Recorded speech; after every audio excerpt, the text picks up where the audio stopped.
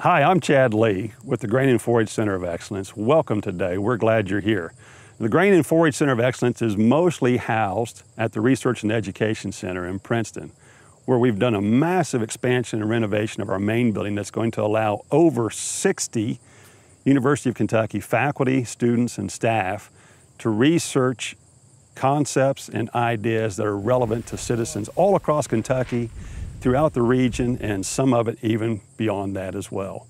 We welcome you today and we want you to understand that this Grain and Forage Center of Excellence is committed to food security through increased food production. We're also committed to environmental security, and that is if we produce this food, we need to do it in a way that protects our waters, our streams, our soils, and our environment. We're also committed to answering those questions that are relevant to our citizens within Kentucky.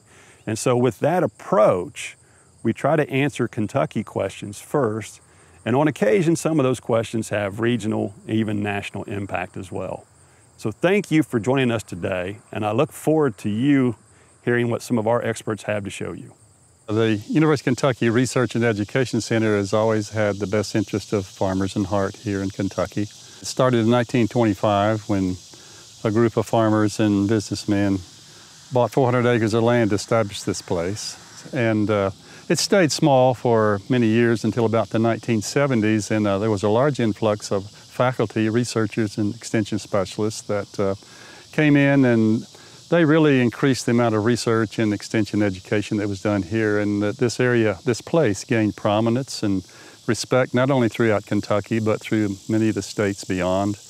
And uh, in 1980, the ag leadership of the state of Kentucky uh, built a nice building for us uh, with the laboratories and educational opportunities and uh, greatly increased our capabilities. And they also did that same thing in 2019. So out of that cooperative and symbiotic relationship, uh, a real good example of that would be um, uh, no-till agriculture.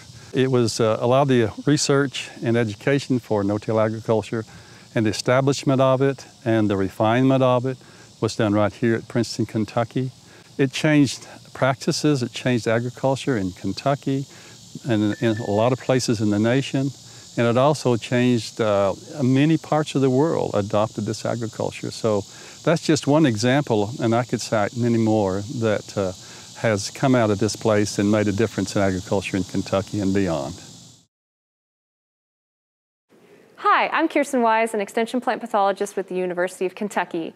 And we're here today in our newly renovated University of Kentucky Research and Education Center in Princeton, Kentucky. And we're starting our tour in the Kentucky Farm Bureau lobby. And today we're going to be looking at our renovated lab wing and also our new conference center. We're standing outside of our Siemer Milling Company Conference Center in front of the Kentucky Corn Growers Gallery to look at some of the new rooms available for extension use. Now we're in a smaller meeting room that we can use thanks to the Halcomb family. We're standing in the Farm Credit Mid-America classroom, which is set up so that students in Princeton can take classes simultaneously with students in Lexington. This is the demonstration classroom where we can have larger extension meetings and also classroom activities with hands-on learning. Now we're in the Kentucky Corn Conference Room where up to 200 people can attend extension meetings. Hi, I'm Katie VanValin and I'm an extension beef specialist with the University of Kentucky. Now we're continuing our tour in our lab space. This is an example of some of the laboratory spaces that we have on at the station and this is the forage and animal science laboratory space. Now we're in the Integrated Pest Management Laboratory space, which is a space shared by faculty in the entomology and weed science departments. So in addition to our faculty research labs here in the laboratory wing of the station, we also have two service labs. We have the Plant Disease Diagnostic Laboratory as well as the Soils Testing Lab, where producers and extension agents can submit samples for diagnostics. Now we're standing outside of the Plant Pathology Laboratory, which is shared by two of our plant pathology faculty here at the station. Now we're standing in front of the Clements Ag Supply Grains Agronomy Office, which is currently occupied by Dr. Carrie Knott. Uh, this is one of two of our sponsored offices that we have throughout the building. Now we're standing in the new office wing of our building, which is home to several faculty and staff offices, including the sponsored Peterson Farm Plant Pathology Office. This room to my left is uh, a small conference room, which can house up to four people for small meetings throughout the day. And now we're inside the Agriculture and Biosystems Engineering Laboratory. This unit that I'm sitting on here is a four-wheeler that's equipped with GPS to mark boundaries of fields for precision agriculture experiments here at the station. Now we're standing outside the horticulture laboratory, which is uh, home to our faculty members working in the horticulture department. And they also have field labs and orchards and garden spaces throughout the station. Now we're standing outside of the Cook's Family Soil Lab, which is a soil, water, wet chemistry laboratory shared amongst three of our faculty members here at the station. Well, thank you all for joining us today on our virtual tour of the University of Kentucky Research and Education Center. On behalf of Dr. Wise and I, we thank you for joining us today. It's always a pleasure to have people like you come to our, our Research and Education Center. We're so thankful you came and we look forward to you having a good day and we look forward to you coming back again some other time. So thank you for being with us today. We appreciate that you got to visit the Grain and Forage Center of Excellence, the home of no-till for the entire world. We hope you come back and see us either online, on social media, or even better, come and stop by in person. We'd be glad to welcome you. I hope you enjoyed the tour of our main building that houses our uh, laboratory spaces and conference areas. But now we're going to give you a tour of our beef related facilities here at the station. So directly behind me is a, a structure that if you've been to Beef Bash before, you've probably seen. Uh, this is what we call the back corral. It's our main working facility uh, for our cow herd. This is where we probably do about 90% of our our beef cattle handling is done through this facility behind me. Uh, typically, if we were having beef bash in person, we would have a tent set up near here. Um, we'd all be gathering together, but in the midst of COVID 19, we're doing this all virtually and we're learning to do things in a new way. So, join me today while we take a look at the rest of our beef cattle facilities. Behind me, you'll see steers that are on a research trial in Dr. Chris Teutsch's program. They are in one of two sets of research paddocks that we have here at the station. And the paddocks behind me are specifically used to support Dr. Teutsch's research program. We are now standing at our second set of research paddocks that we have here at the station.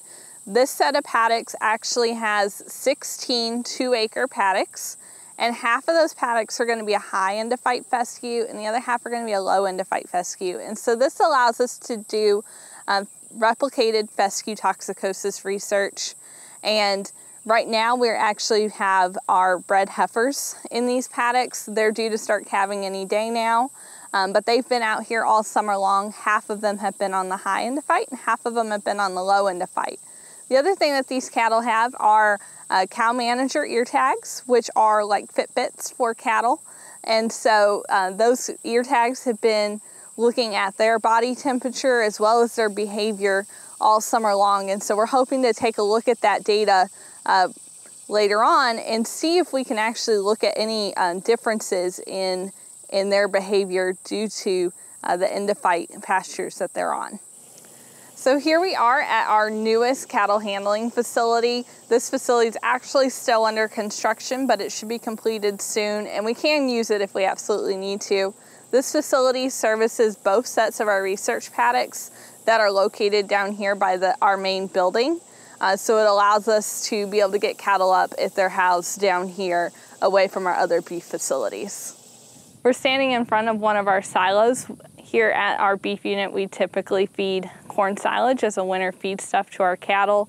And so we'll typically feed that corn silage out from about January to March. Um, when we're filming this, it's late August, so we actually just got done chopping corn silage and putting it in there. Um, and so again, this is something that we, we utilize in addition to hay uh, to get us through uh, the winter. So we couldn't do everything that we do without our team of staff to help us with the daily care and management of our cattle out here. They also help us uh, when we're running research trials, collecting samples, um, and they really are um, the backbone of, of our cattle operation here. And so I wanted to introduce you to our staff. Hi, my name is Blair Knight, and I'm a research specialist here at the UK Princeton Research Center. I've been here for 14 years, and my um, job job is to just manage the cow herd on a daily basis here and oversee all of our research that we've got going on. Hi, I'm Billy Parrish. I'm a work for the animal science farm technician. I've been here for 35 years.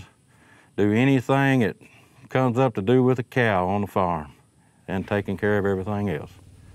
Hi, my name's Carl Inman. I'm a farm technician for the animal science. Uh, my daily routine is check cows, move pasture pastures, mow, tagging calves. This season will be, we had our first one this morning, so it's the beginning of an, another year for them. We're standing in front of one of our winter hay feeding structures that we have here uh, on our property. And so what this allows us to do is easily feed hay to cattle during the winter um, because we've got a gravel drive that comes right up to this. Our guys can load uh, the round hay bales through here and then the cattle can come from multiple locations, from multiple pastures, access this single point on the concrete um, to consume that hay and what that really does is it can cut down on some of those heavy traffic mud areas that we see uh, develop from our winter feeding programs. I wanted to take a moment and talk to you guys a little bit about a piece of technology that we utilize here at the station as well as at our uh, cattle facilities up in Woodford County, and that's the Cow Manager technology. So this pole behind me is actually a solar panel that uh, is used to relay a signal from the cow manager ear tags that our cattle wear, and that relays that signal back down to our main building uh, to a laptop where um, that information is sent to the company and processed, and that comes back to us uh, pretty quickly in the form of a smartphone app. And that smartphone app uh, sends us alerts for when cattle might be experiencing um, health issues or uh, when cattle may be coming into heat. And we actually have utilized that technology um, to let us know when calves have been, have been coming into heat as part of our breeding programs here. And so, again, those are just small ear tags that sit uh, in the cow's ears. And they will tell us information such as the amount of time that that cow spends eating, being non active, being active, highly active, or ruminating. They also measure ear surface temperature and they, again, they send all that information back to just a handy smartphone app that sends you alerts um, to let you know that something might be going on uh, with your cattle. And so it's something that not only are we using as a management tool, but we're also utilizing it in some of our research programs here at the station. Dr. Teutsch and I are running a research trial right now to look at the effects of hay storage locations and uh, the density at which hay bales were uh, baled at to look at how that affects uh, storage and quality, storage losses in both uh, dry matter quantity and quality. We're standing inside one of the pens in our steer barn. Our steer barn here at the station has uh, 40 of these Calan gate units that you can see behind me here.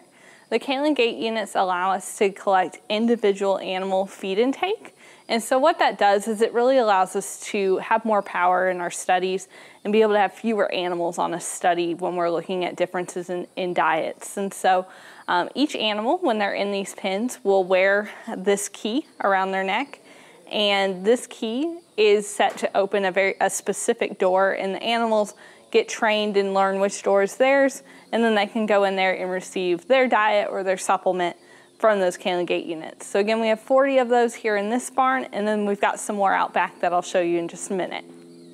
In addition to the 40 Calan gates that we have inside of our steer barn, we also have an additional 48 Calan gates out here on pasture. So we actually have two sets of 24 each, and half of those are on a high endophyte fescue pasture, and the other half are on a low endophyte fescue pasture.